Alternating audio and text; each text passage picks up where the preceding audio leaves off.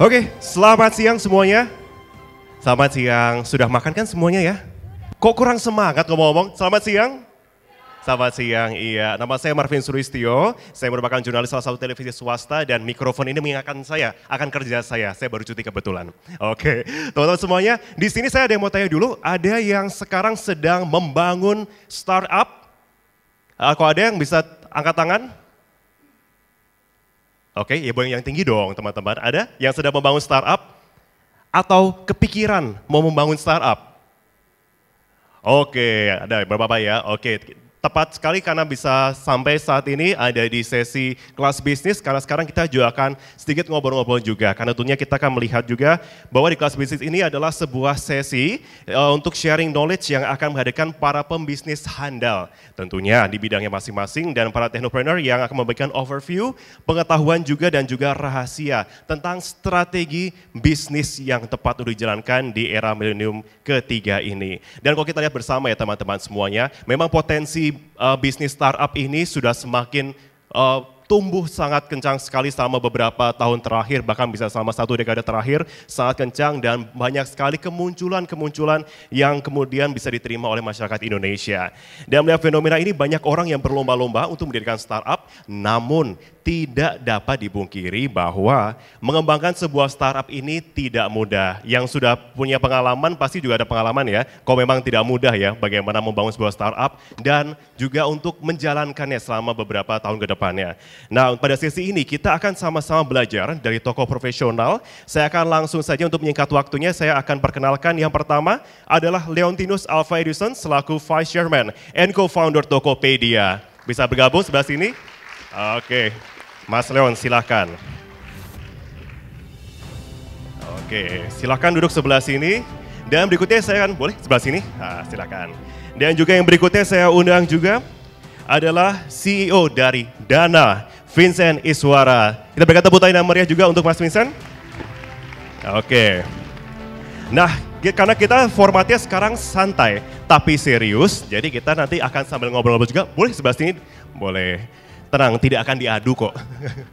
Oke, karena teman-teman di sini kita formatnya sangat santai sekali, tapi juga serius. Kita akan belajar belajar sama-sama seperti apa sih kiat-kiat dan menemukan inspirasi seperti apa yang kemudian bisa diaplikasikan bagi para pembisnis-pembisnis muda ini. Jadi nanti kita akan sambil interaktif juga tentunya, sembari kemudian kita uh, diskusi. Nanti kita akan uh, ada sesi untuk bertanya dari para hadirin semuanya. Oke, yang pertama mungkin saya akan langsung tanya aja mungkin ya sama Mas Leon ya ini kan sudah unicorn yang ngomong-ngomong ya. Uh, Dapat predikat unicorn itu tuh termasuk jadi beban atau kebanggaan sih? Uh, sebenarnya nggak penting sih. Nggak uh, penting? Iya, nggak benar karena uh, kita nggak pernah pikirin itu. Sebenarnya saya juga nggak tahu unicorn itu apa. Karena uh, kita nggak pernah pikirin. Uh, saya juga nggak tahu misalnya siapa sih yang mencetuskan sebenarnya uh, istilah unicorn itu dari mana pas macam saya nggak tahu. Tapi saya juga tahunya belakangan. Misalnya pada saat udah mulai ngetop, uh, udah mulai istilah itu sudah mulai ngetop beredar di kalangan uh, ekosistem teknologi. Ya udah akhirnya oh ini apa segala macam. Jadi ya itu ya itu yang pertama lah. Jadi bagi saya sih sebenarnya nggak terlalu penting mm -hmm. karena uh, kalau di Tokopedia sih gini, kita sehari itu kita nggak pernah mikirin kita itu nomor berapa gitu. Oke. Okay. Kita bahkan di shareholder meeting kita kita juga nggak pernah bahas kita itu nomor berapa, siapa di bawah kita, siapa di atas kita tuh nggak pernah dibahas. Mm -hmm. Tapi yang kita bahas itu selalu uh, visi visinya kita apa, mm -hmm. uh, terus gimana kita problem solving masalah yang ada, terus uh, sembari masih tetap jalankan core visi misinya kita, kita mau evolve ke arah mana karena walaupun kita teknologi company, kita juga nggak boleh tidak berubah. Yeah. Jadi kalau kita tidak evolusi, ya kita akan mati gitu. Jadi itu yang sebenarnya kita bahas. Misalnya contoh yang salah satu mm -hmm. contoh kita bahas gini, uh, kalau kita lihat teknologi company di dunia, misalnya eBay ya, ya. eBay yeah. itu lima tahun lalu, tujuh tahun lalu eBay sama sekarang tuh sama-sama aja. Tapi lihat company kayak Google, Facebook, kayak Alibaba, lima tahun lalu sama sekarang tuh mereka totally beda gitu. Jadi yeah.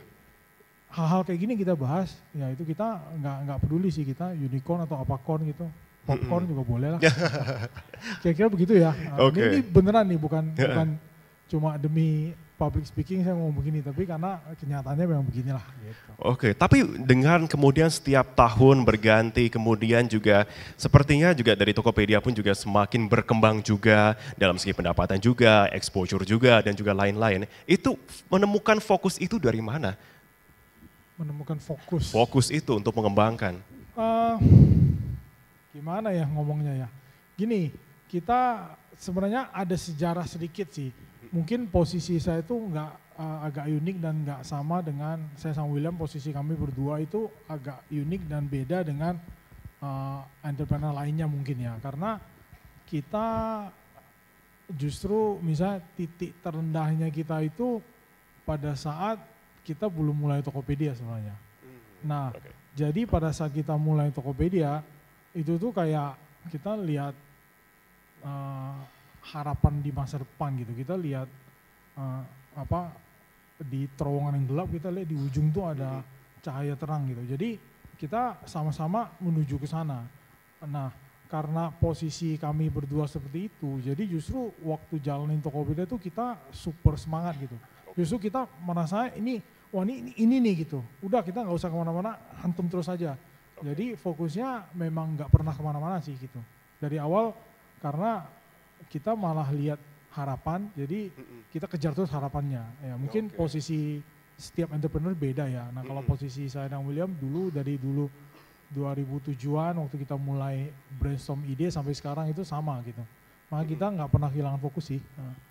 Oke, okay. iya. menarik juga ya, tidak kehilangan fokus tentunya. Jadi iya. memang satu tujuan saja dan memang fokus di sana tidak usah memperdulikan mungkin uh, ya ada cerita-cerita ataupun juga selentingan-selentingan lain seperti itu ya. Oke, okay, ini termasuk juga salah satu yang perkembangan cukup pesat sekali, bahkan sangat pesat, rapid growth ini dari Dana sendiri. Mas Vincent, ini ditetapkan sebagai aplikasi yang resmi pada Desember 2018 kalau saya tidak salah pada waktu itu. Tapi kemudian sekarang sudah banyak sekali mengakuisisi banyak sekali uh, pihak-pihak lain. Rahasianya apa sih dari Dana? Arahannya? Uh, rahasianya apa itu? Rahasia? Hmm, gak ada sih ya. Jadi bisa dibilang apa ya? Jadi kayak seperti tadi Leontinus bilang gitu. Sebenarnya um, every company, every startup itu uh, dibuat because there is an intention. Yeah. Um, what we call it a mission. Um, yang kita lihat itu kalau dari Dana sendiri ngelihat misinya dari kita itu tujuannya um, it's quite impactful gitu. Jadi kalau kita melihat apa sih sebenarnya dari tujuan dari dana ini adalah selalu kita sampaikan dan berulang-ulang setiap minggu saya sampaikan ke uh, teman-teman uh, di dana semua juga itu bahwa we want to transform Indonesia. Oke? Okay? Tapi transform ke apa itu kan. Jadi ke apa itu makanya jadi company. We want to transform Indonesia into a digital economy. Oke, okay? karena sekarang ini kita melihat bahwa Indonesia itu sudah ekonomi, sudah berlangsung, sudah lumayan, uh, perkembangannya juga cukup bagus, apalagi dengan dengan Bapak Presiden yang kita dapat sekarang ini, dengan infrastruktur apa semua, kita ingin membantu melebih mengakselerate lagi dan supaya bisa menjadi ke digital economy. Itulah tujuan dari misi kita. Nah, dari tujuan dari misi kita itu baru kita melihat gitu bahwa um, kalau untuk merubah ke digital ekonomi, potensialnya seberapa besar. Nah, kalau kita lihat berapa besar itu, kita melihat dari target market ya. Target market berarti kita bisa mulai pilah gitu. Berapa banyak sih penduduk Indonesia? 269 juta. Terus berapa banyak penduduk Indonesia yang ready? Berarti berapa banyak smartphone users ya, kita anggap yeah. gitu kan. Itu akses untuk digital sekarang itu semua kebanyakan dari mobile phone. 150 million users. So dari situ baru kita ngeliat, oh kita ada target 150 million. Oke, okay? so let's try with whatever it takes necessary to get them so they can be part of this digital economy. Nah itu, jadi kalau kita bilang sekarang um, uh, kita baru mulai, ya benar, uh, Desember 2018, uh, dan lumayan progress, Cuma setiap kali kalau dibilang gitu di kantor juga, apalagi dengan teman-teman gitu, gimana kita cepat nggak? Ah, kayak enggak, kayaknya masih masih jauh. Kita ini baru, ya kan dari 150 juta baru paling berapa gitu, sekarang 10 persen, 12 persen, masih banyak lagi gitu. Jadi kita harus tetap kejar, harus tetap, karena ini ada sesuatu yang um, missionnya itu impactful. Nah okay. kita ngeliat selalu dari sana. Jadi kalau mm -hmm. untuk cepat apa tidak, it's relative. To be honest, not fast enough. Oke, kurang. It's not fast enough. Tapi bagaimana kemudian bisa kemudian jump in di tengah perkembangan ya ekonomi sangat kencang sekali. Banyak sekali kemudian ekonomi digital dari para aplikator juga yang semakin banyak kemudian bisa muncul and pop up become one of the biggest. Itu bagaimana itu kemudian? Apakah sudah diproyeksikan sebelumnya? Um, once again kan, kita selalu tahu ada missionnya gitu. Kita lihat dari missionnya, terus kita lihat target marketnya. Plan is always how to convert the first user, second user, third user. Sebenarnya yang paling penting adalah apa value proposition yang kita create, so these users will change. Oke, okay? uh, nanti bisa saya jelaskan value propositionnya. Okay. Terus abis itu kita juga melihat from based on that value proposition, how fast can we deliver it? Itu dulu. Sebenarnya kan um, every company pasti punya ya value propositions. Um, dan Tinus pasti punya dengan Tokopedia, kita punya Dana, um, BCA punya dengan um, uh, customernya, value propositionnya itu ada. Nah sekarang this value proposition itu gimana kita uh, make sure we deliver as soon as possible. For example, our value proposition is we're always going to be open, we're going to be user friendly, and we're always going to be trusted. Nah ini gimana? Nah trusted itu dengan security, dengan risk management, dengan apa? Dan make sure jadi transaksi itu protected. Open berarti kita bikin used by everyone. Yes. Uh, our applications benar-benar terbuka, so everyone can adopt it. So how can now we start this as soon as possible? To be honest, back again, there's still a lot of work that we need to do. Mm -hmm. But based on this principle, then we make sure that our value proposition itu bisa um, diterima dengan pasar. Dan it's I think um, we're lucky and somewhat semi-planned, but also mm -hmm. lucky that the market accepted okay. that our value proposition, three value proposition itu bisa diadopt dengan cepat. Oke, okay. dan dari Tokopedia sendiri bagaimana kemudian melihat perjalanan selama berapa tahun? 10 tahun ya? Atau ya, berapa? 10 tahun. 10 tahun. Bagaimana bisa kemudian pada waktu itu bisa memproyeksikan bahwa kita akan bisa perlahan-lahan, bahkan sekarang juga menjadi sangat besar di era digital ini. Dan kemudian Tokopedia menjadi salah satu pemain terbesarnya. Bagaimana memproyeksikan itu dulu? Uh, sebenarnya nggak nggak tahu sih. Paling tapi gini, uh, lebih enak mungkin saya share journey-nya ya. Jadi mm -hmm. uh, Tokopedia itu awalnya kenapa sih kebentuk gitu? Uh, kita karena saya dengan William itu kita kerja di Jakarta, kita kerja di Sigma sebenarnya. Jadi mungkin kalau yang kenal Pak Toto Sugiri dan kawan-kawan, nah itu bos-bosnya kita dulu. Nah waktu kita kerja di sana, kita berdua itu orang daerah. Teman-teman kita itu sudah lahir sekolah besar di Jakarta. Jadi mereka agak beda pengalaman dengan, dengan, dengan kita berdua lah ya. Nah pengalaman kita apa? Sebagai uh, orang yang tinggal di daerah, kita tuh ngeliat di daerah tuh nggak banyak peluang. Uh, nggak kayak Jakarta gitu. Apa pun bisa hidup, asal kita kerja keras, semangat kita bisa hidup. Kalau di daerah tuh enggak, karena ujung-ujungnya ya paling jadi SME entrepreneurs. Udah itu yang paling maksimal gitu. Nah tapi ada beberapa teman kita yang lebih sukses lah, ekonominya lebih baik. Kenapa? Karena mereka bisa ke Jakarta, bisa mereka bisa ketemu dengan prinsipal, ketemu dengan nasional distributor, jadi uh, mereka punya kesempatan lebih. Jadi dari dulu kita lihat gapnya di Indonesia itu memang besar gitu. Nah kemudian yang kedua kita lihat as a consumer juga sama. As a consumer tuh di daerah itu nggak bisa dapatin segala sesuatu yang baru. Semua yang baru biasanya kan di kota besar. Uh, punya uang mau beli juga nggak bisa. Nah tapi kalaupun ada terbatas dan harganya mahal gitu. Nah jadi sebenarnya dua hal ini yang bikin kita uh, bikin Tokopedia. Uh, makanya kita punya, uh, kita stated dengan clear banget vision kita kan, uh, to create a platform where anyone can start and discover anything. Nah sebenarnya itu yang pertama kali dulu. Nah itu Tokopedia akhirnya ada karena itu.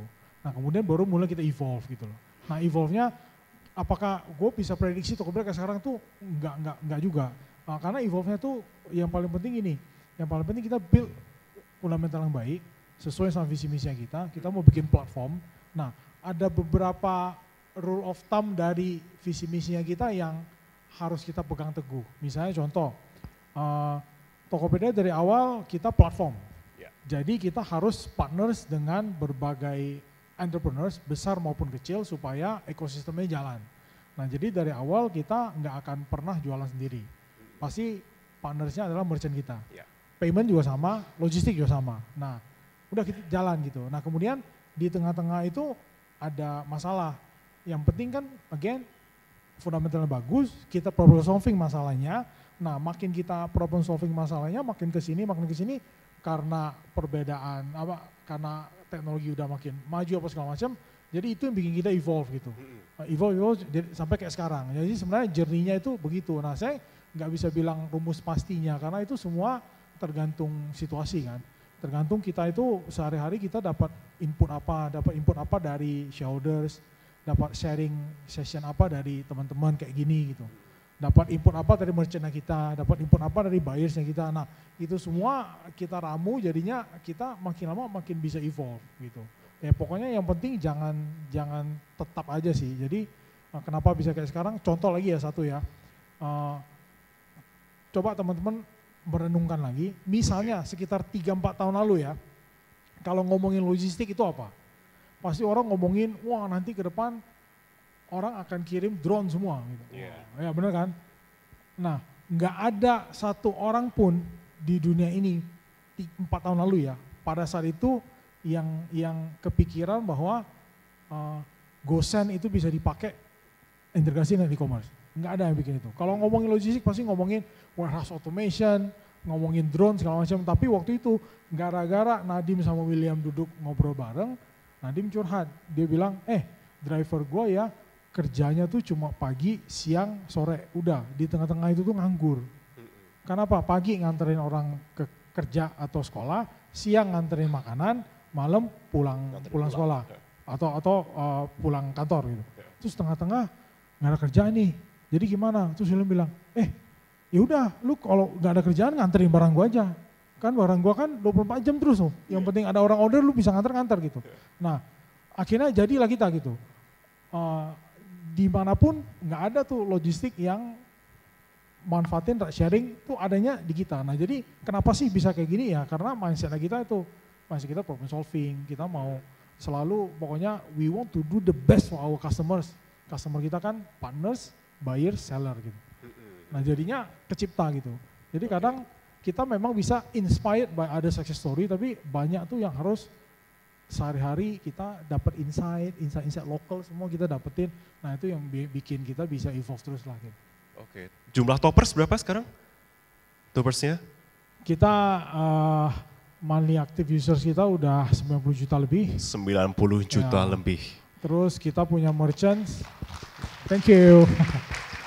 Terus merchant kita terakhir itu saya 6,2 jutaan merchant kita itu yang aktif ya, yang aktif sih nggak usah dihitung lah. Eh, baik. Kalau maintain engagementnya gimana berarti dengan para toppers ini sendiri? Nah gini, engagementnya juga uh, evolve juga. Mm -mm. Jadi dulu saya masih ingat gini, mimpinya saya itu saya pengen bikin platform yang mirip-mirip dengan Google, Facebook lah. Maksudnya gini, maksudnya Google tuh nggak pernah ngajarin kita pakai Google tapi kita tahu sendiri kan. Iya. Yeah Ya, wah explore sendiri. Nah kita, saya juga pengen gitu.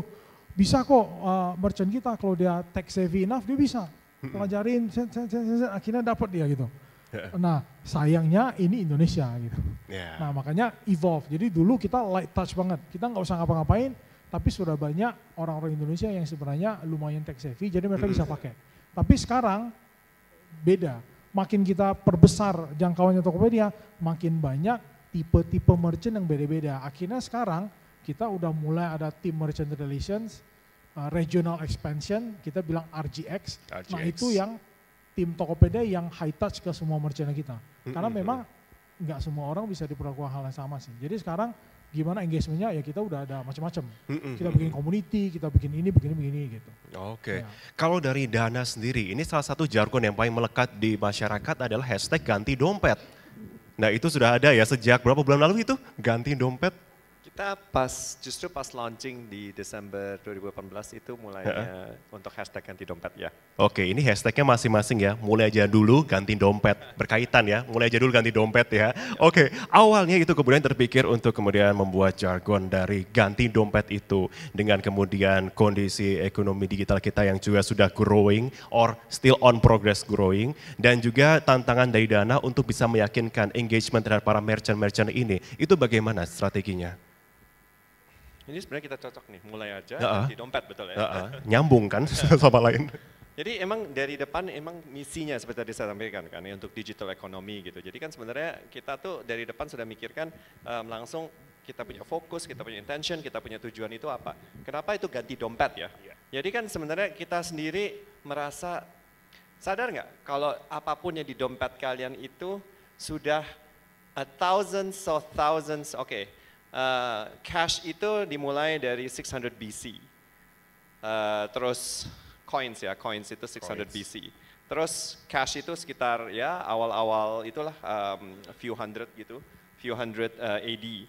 Terus uh, kartu itu invention of 1950s. Jadi sebenarnya semua yang di dompet Anda itu sebenarnya sudah ketinggalan zaman banget tuh. Itu tuh udah udah jadul lah kita ngomongnya ya. So it's time to really uh, change. Jadi kalau kita ngelihat bahwa teknologi itu adalah sesuatu yang untuk berubah, yang tetap ya kan tetap berubah, tetap maju, tetap ada perkembangan. So whatever you've been using in your wallet itu sebenarnya sudah obsolete. Kenapa nggak kita rubah? Makanya kenapa konsep ganti dompet gitu adalah benar-benar because it's time for you to change. For me, it's very personal. Kenapa? I always left my wallet at home. Oke. Jadi ketinggalan terus gitu. Selalu ketinggalan. Always gitu selalu. Jadi apa yang terjadi? Pinjem dong.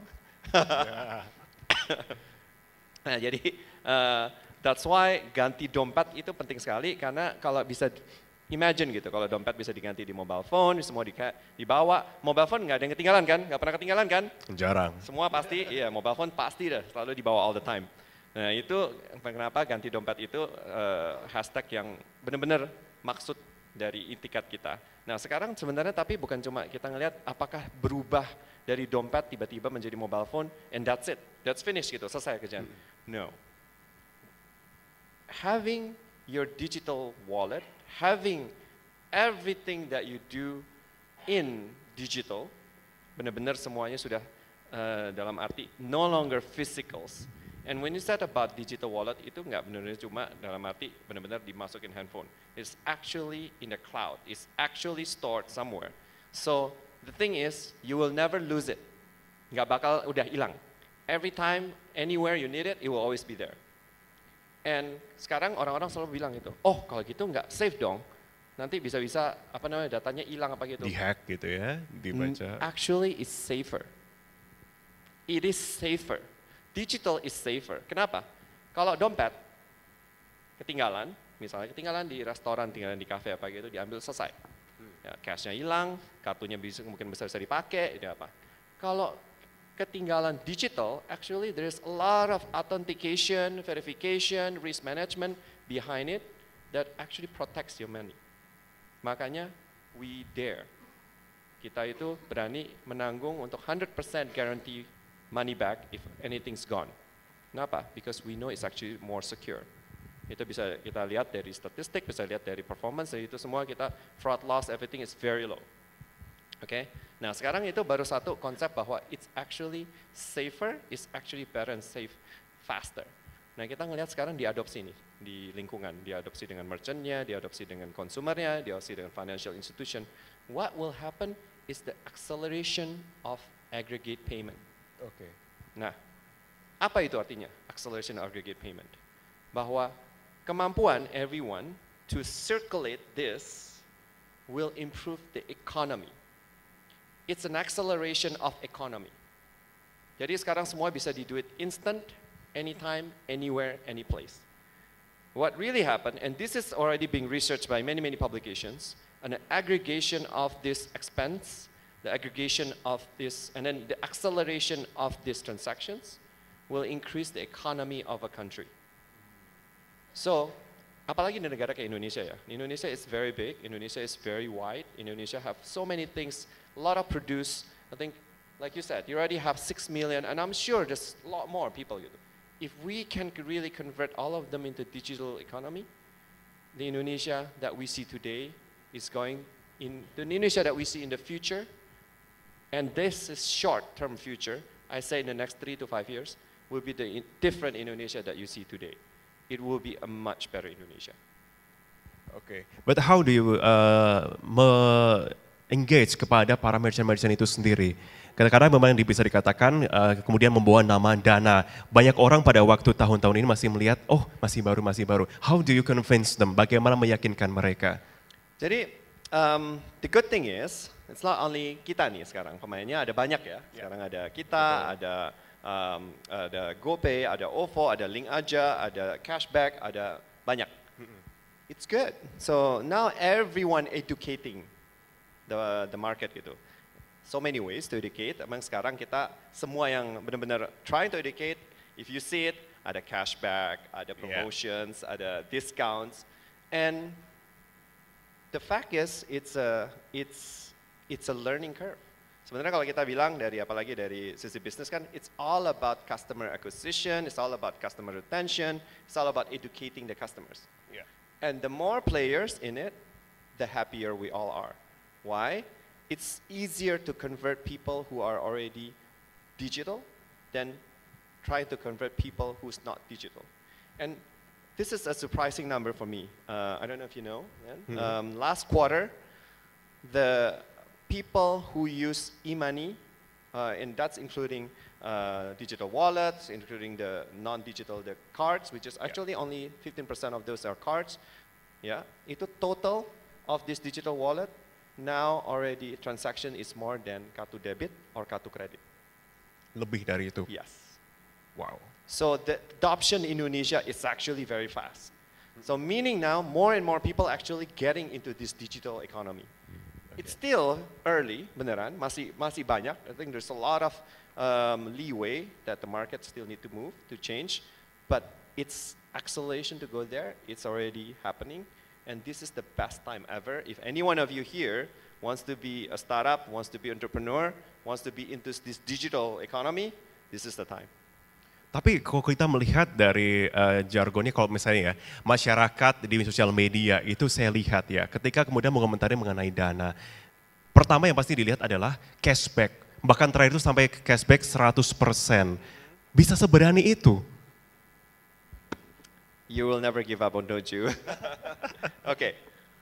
Now here's the thing. Um, it's all about educating the customer. Cuma paling penting gini, I'm a fundamentalist. I've been in this industry for a very long time. I've been, I mean, it's really one of the first two fintech player in Indonesia. Yeah. Uh, started in 2008. Um, and we always track our metric, you know, our, our, LTV, our customer expenditure, our customer retention, our customer um, lifetime management cost and everything. Yang paling penting itu adalah a unit economic metric that you track that one day you know for sure that you can get it back. Itu yang paling penting sekarang. So we need to be conscious about how much we spend money. We need to be conscious of how much we're uh, paying to get them. Because here's the thing, right? You want to acquire, but you don't want to rent. There is a now there's a there is a the term. Acquisition and retention is great, but don't rent. Meaning you just renting them, and then one day, once you know this is what happening, when you spend too much money, and then everybody else is spending too much money, and then so they're not becoming loyal at all, and one day they'll just move on to the others and then will not use again. So you're just renting them. Mm -hmm. Promotions, discounts, incentive is just to help educate. The most important is always to create a future, to create a technology, to create the value proposition that I mentioned it to. So when there is no promotion, there is no discount, you will always still be better. You will always be something that people need. Mm. Itu yang paling penting. Jadi jangan sampai create something yang give them incentive, terus mereka setelah insentifnya hilang, mereka menghilang. Right now, all of us is educating. This is all yeah. educational period. The fundamental thing is you always need to create the technology, value propositions, and things that you will really actually forget your wallet sekarang mm -hmm. and use your mobile Phone. as a payment and then after that, you benefit because it's faster, it's more trusted, it's cheaper, and then it's really value to you. And not only to you, but to merchants, to the banks, That's the thing. So at the end of the day, back again, right? It's about acceleration of economy. Oke, okay. uh, oke okay, baik. Um, dari Tokopedia sendiri, uh, Mas Don, ini 10 tahun sudah berdiri, kemudian juga rahasia, kemudian menjadi selama satu dekade menjadi yang salah satu yang terbesar juga growingnya adalah fokus. Tapi bagaimana dengan maintain di dalamnya? SDM-nya sendiri selama 10 tahun ini, bagaimana kemudian mengengage SDM di internalnya? Engage-nya sih macam-macam, tapi ada beberapa prinsip sih. Jadi gini, uh, saya dulu dulu kan waktu awal Tokopedia itu semuanya William dan saya yang tentuin. Tapi kita juga beruntung karena kita dapat mentorship dari investor-investor kita bahwa ya kalian jangan kayak gitu, uh, nggak bisa kalau kalian uh, begitu nanti bottlenecknya di kalian gitu. Nah terus uh, kita juga ma makin kita strategik ya, karena makin kita hands off dari dari kerjaan op operasional kita jadi punya waktu berpikir, waktu belajar, waktu baca, lihat-lihat TED video, inspirational video semacam lebih banyak kan waktunya kita. Jadi kita belajar banyak juga gimana. Jadi um, yang pertama sih gini, yang pertama ini yang saya belajar dari uh, prinsipnya Jeff Bezos lah gitu. Yeah. Jadi dulu waktu pertama kali kan dia juga start new company. Jadi yeah. pasti semuanya dia kerjain gitu. Jadi misi pertamanya dia adalah dia itu uh, orang yang mikirin what to do, tapi setelah itu dia udah tahu what to do, dia juga orangnya mikirin how to do. Hmm. Nah tapi makin Amazon besar, lama-lama dia bilang, wah kalau bottlenecknya di saya mati nih. Jadi dia evolve menjadi dia pikirin what to do, tapi how-nya dia cari orang lain yang bisa bantu dia how. How-nya itu udah lama itu. Nah sekarang dia berubah lagi. Jadi sekarang uh, leadershipnya Jeff Bezos berubah lagi. Uh, dia bahkan sekarang bukan masalah what sama who lagi, tapi eh what sama how lagi, tapi who-nya. Jadi mulai sekarang dia itu cari who person dulu. Nah orang ini who ini yang akan bantu dia mikirin what-nya apa dan how-nya bagaimana. Nah jadi ini uh, leadership evolving ya. Nah ini yang yang juga menurut kita sangat-sangat penting. Jadi kita juga mengakui ini, uh, kita juga mulai mempersiapkan diri ke arah sana. Nah yang paling penting itu adalah uh, kita bisa set directions, tapi yang paling penting itu tim yang di bawah kita itu harus punya sense of belonging. Nah gimana sih cara bikin mereka punya sense of belonging? Kita tuh nggak boleh kasih perintah, jadi kita harus brainstorming stylenya. Nah jadi menurut saya key-nya itu sih. Jadi key-nya adalah uh, we set the big pictures, the direction and everything, tapi the detail of how-nya itu tuh biar timnya kita yang take decisions. Jadi tim yang di bawah kita itu kita kasih mereka, ya udah lu take decision sendirilah, nggak usah apa-apa, tanya gitu.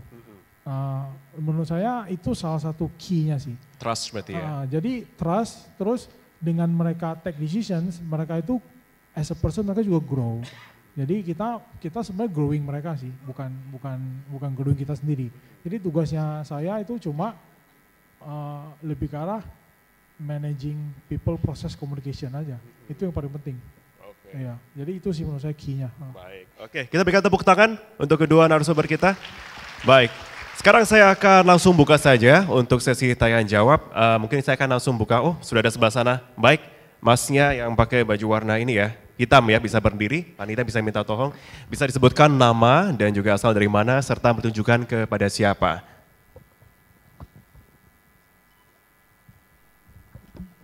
Selamat siang, terima siang. kasih. Uh, saya mau bertanya kepada Mas Leon. Uh, sebenarnya pertanyaan saya sangat mendasar sekali. Jadi ini kan saya juga ada startup gitu ya.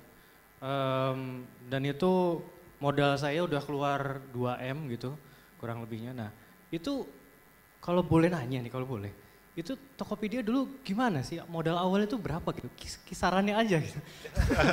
Maksudnya Oke, mari kita, kita buka rahasia di sini sekarang. Sampai, sampai soalnya saya sampai sejauh mana gitu loh. Saya 2M ini saya masih kurang gitu loh. Kurang lagi, kurang lagi gitu kan.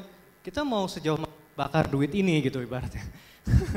sampai sampai di mana tahu titik ini tuh di sini gitu loh ini di sini kayak kayak tadi kan Mas Leon bilang, oke okay, ini pokoknya saya hidup mati saya di sini, gitu seolah-olah. Uh, sorry, tadi nama saya Baja, saya dari Jakarta. Baik. Terima kasih. Terima kasih. Oke, langsung kita jawab ya mungkin ya. Silahkan itu, langsung kita buka rahasia itu modal awal berapa? Coba Baja dari Jakarta ya. Oh, yeah. Namanya keren. Uh, mental Baja yes, kita, mantap. betul, setuju. Uh, gini sih, kalau gini saya nangkep saya agak khawatir sama pertanyaannya. Karena uh, bu, bu, bu, bukan apa-apa, gini, tadi Vincent udah bilang kan, uh, yang paling penting itu good fundamental sih.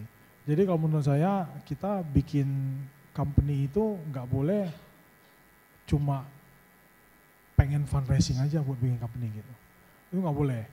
Ya harus ada purpose-nya kan. Nah, atau misalnya saya bikin company supaya ya apalah macam-macam itu tuh agak-agak salah sih. Jadi kalau menurut saya kita bikin company itu mesti paling pertama itu mesti problem solving. Nah, problem solvingnya boleh evolving. Tiap lima tahun ternyata terinspirasi oleh hal-hal yang baru, berubah, berubah, makin berkembang. Mungkin bukan berubah tapi evolusi lah ya, bukan berubah ya kan. Makin berkembang itu itu oke okay, nggak apa-apa gitu. Uh, semua perusahaan besar juga begitu. Tapi yang paling penting itu, jadi kita harus problem solving dulu. Nah kalau kita nggak problem solving, kita itu maksain sesuatu yang orang nggak butuh gitu. Nah jadinya akhirnya ya ya begitulah gitu. Nah terus kemudian masalah uh, modal, masalah dana itu again menurut saya tergantung karakteristik entrepreneursnya, tergantung bisnis modelnya, tergantung industrinya. Jadi misalnya contoh Tokopedia itu kan kita kan internet company kita itu uh, bukan e-commerce company sebenarnya. Kita internet company, kita platform kan. Itu akan akan beda fundamentalnya kalau saya itu bikin e-commerce company gitu. Misalnya contoh e-commerce company kan ya macam-macam lah. Jadi e-commerce itu. Nah kalau kalau kita bikin uh, bisnis modelnya ada yang harus profitable from day one. Ada yang enggak gitu loh.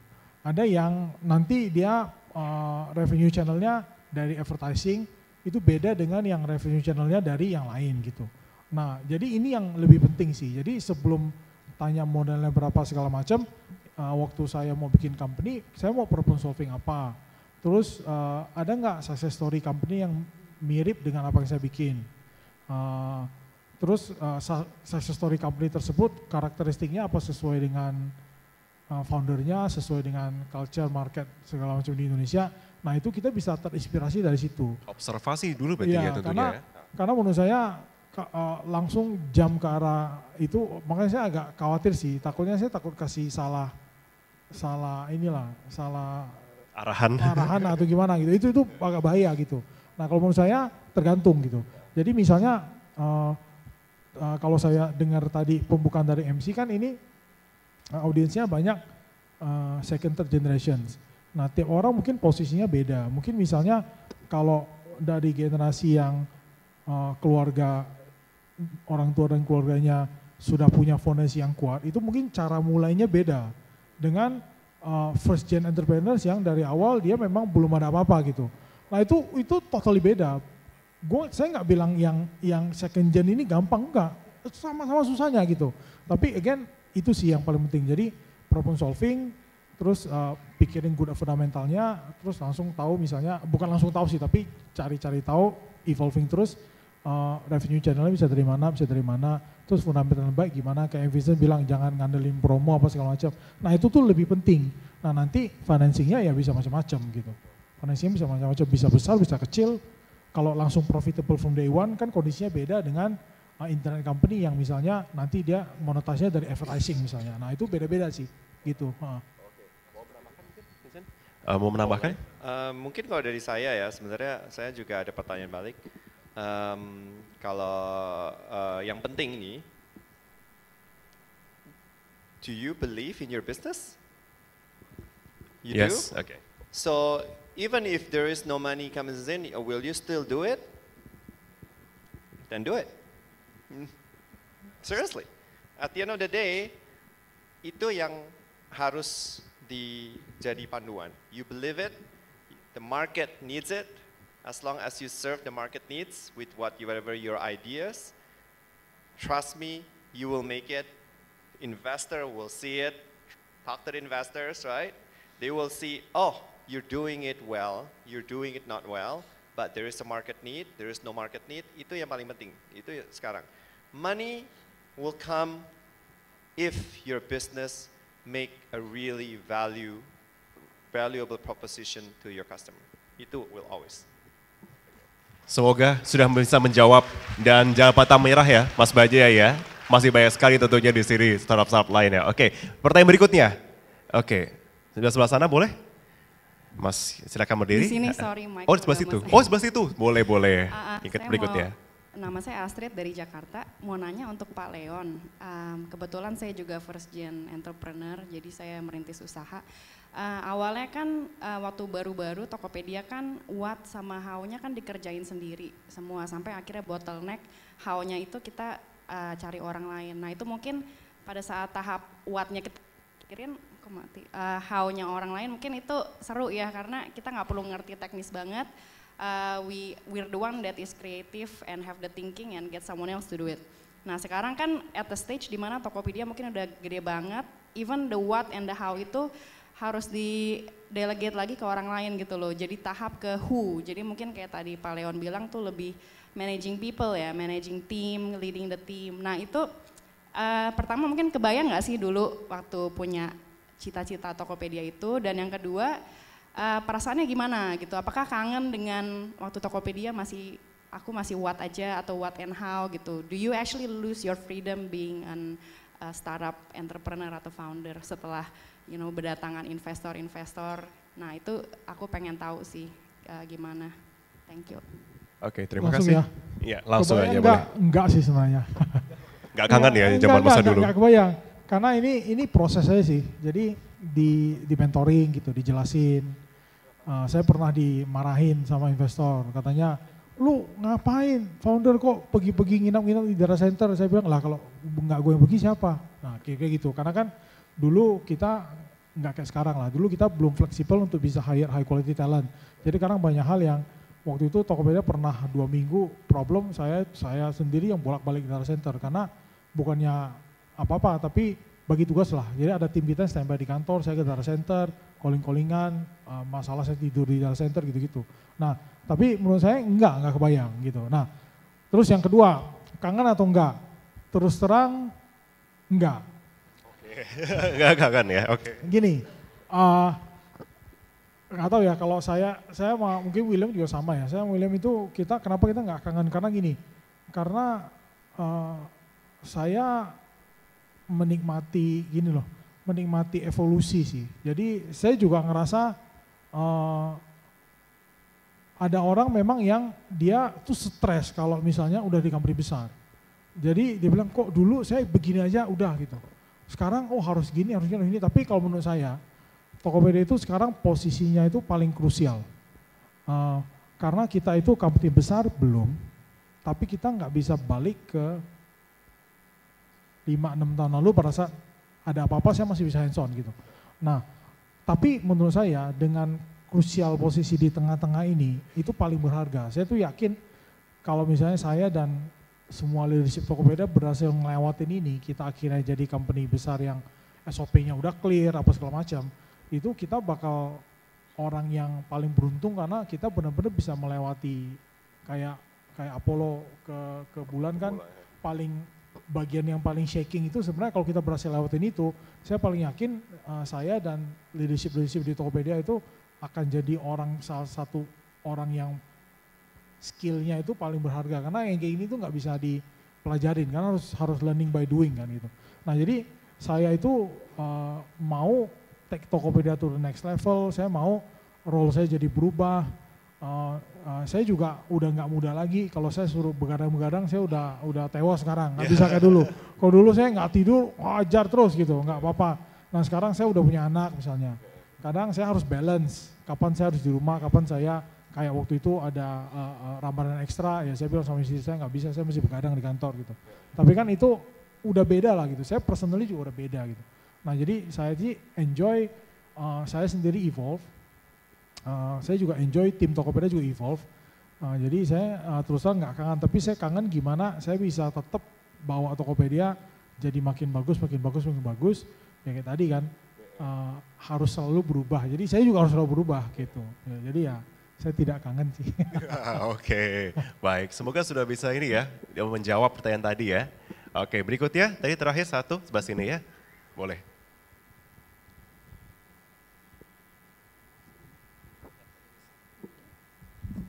Ya, Cik. silakan. Uh, baik, terima kasih atas kesempatannya. Uh, saya Putra dari Bali. Uh, saya mau tanya ke Pak Leon sama Pak Vincent juga. Uh, yang pertama adalah soal uh, kompetisi di dunia startup. Jadi uh, kalau kita tahu customer acquisition cost itu sebenarnya sangat besar. Jadi ketika kalau misalnya dibilang e-commerce dan juga marketplace di Indonesia kan secara total ada banyak. Walaupun sebenarnya keduanya berbeda, satunya platform dan satunya jualan langsung. Tapi kan paling tidak uh, ujung-ujungnya customer juga berbelanja. Nah, yang pengen saya tanya uh, di satu sisi strategi dari keduanya karena dulu Uh, Tokopedia bombing, kemudian mungkin mulai burnout, kemudian tiba-tiba saingan bombing lagi, burnout, kemudian ada Shopee juga bombing lagi. Nah kemudian Dana pada akhirnya hadir sebagai uh, lead entry sementara banyak sekali uh, e-wallet dan juga payment gateway yang udah established itu kira-kira strateginya Dana uh, secara fundamental tuh apa sih untuk bisa competing? Karena sebenarnya walaupun entry-nya terlambat tapi kan uh, partnership dengan merchant dan juga partner-partner dan juga akuisisi kan juga sudah mulai banyak. Uh, satu lagi uh, Tokopedia dan juga Dana kalau misalnya kita ngomong startup kita ngomong valuasi karena topiknya kan soal unicorn seberapa penting sih nilai valuasi itu karena kan sebenarnya valuasi tidak mencerminkan aset satu satu startup kan. Jadi misalnya kalau Tokopedia, Tokopedia punya tower sendiri sementara eh, startup lain kan enggak. Nah, jadi seberapa penting sih valuasi bagi sebuah uh, startup? Thank you. Oke, mungkin saya mulai dari Vincent dulu mungkin boleh? Oke. Oke, okay, um, mungkin saya jawab yang terakhir dulu, terus saya continue backward. Um, valuasi nggak penting. Gini, uh, in a sense, bukannya nggak penting itu, don't be your metric, don't be your target. Targetnya itu adalah, ya kan, customer, active users, um, TPV, GMV, gitu, semua itulah yang lebih penting. Your unit economic itu adalah yang paling penting menjadi uh, your target ya.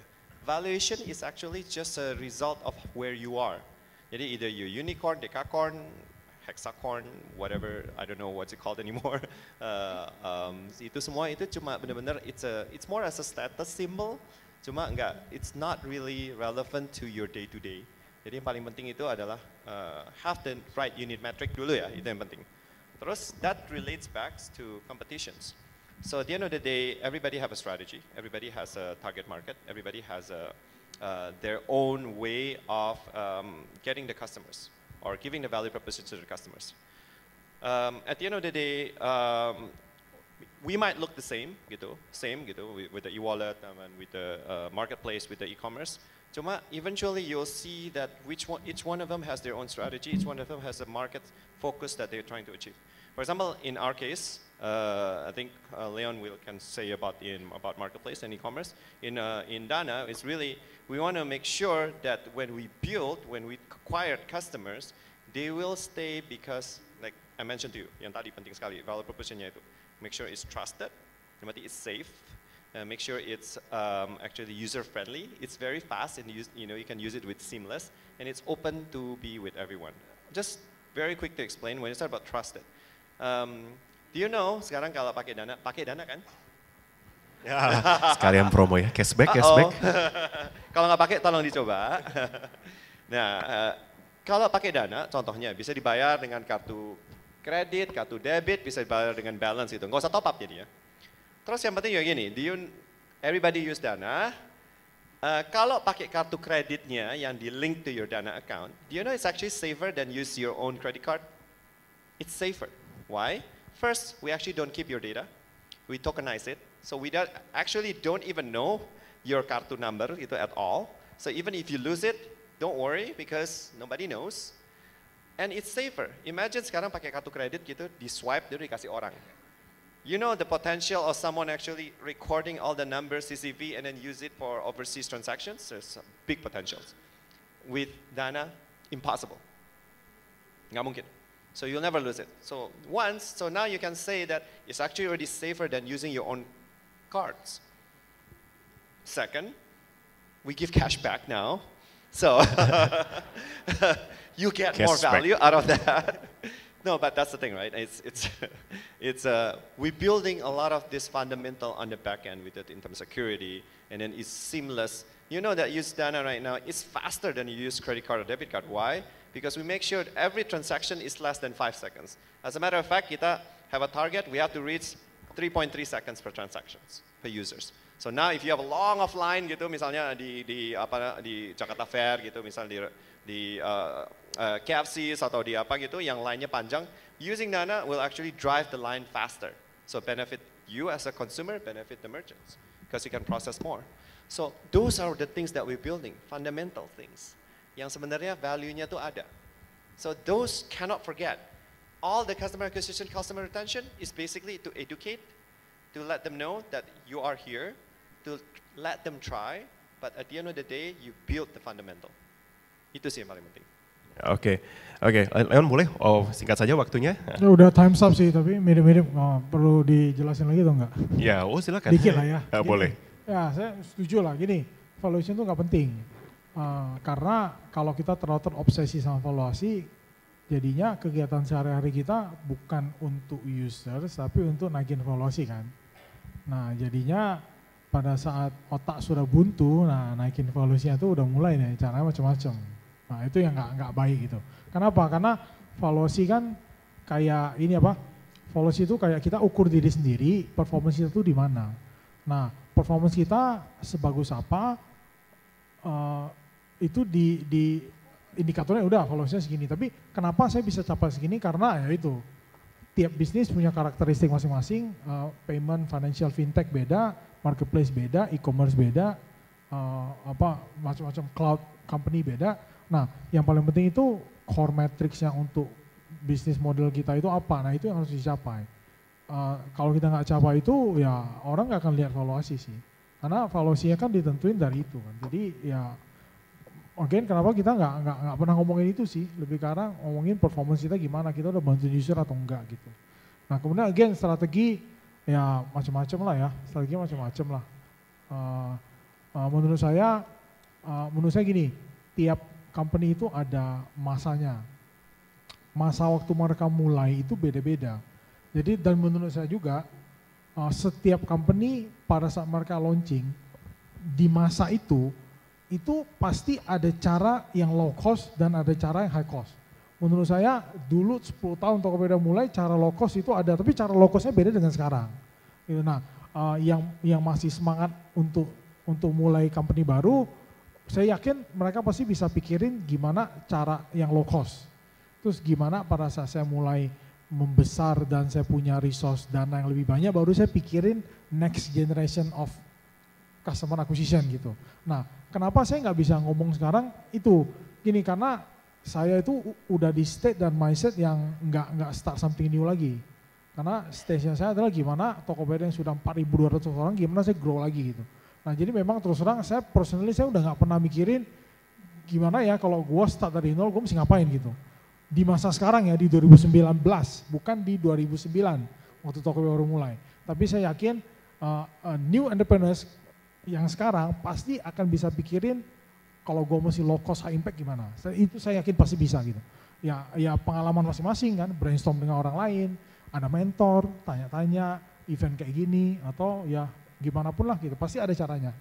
Itu aja ya, cukup kali okay, ya. Baik, terima kasih. Semoga bisa menjawab pertanyaan dari Putra tadi ya. Kita berikan tepuk tangan sama-sama kepada Dontinus Alfa Edison dan Vincent Iswara. Terima kasih sudah mengisi waktu dan membantu menginspirasi di sini. Seperti setelah ini akan ada hashtag baru berdua sepertinya ya. Tokopedia dan Dana.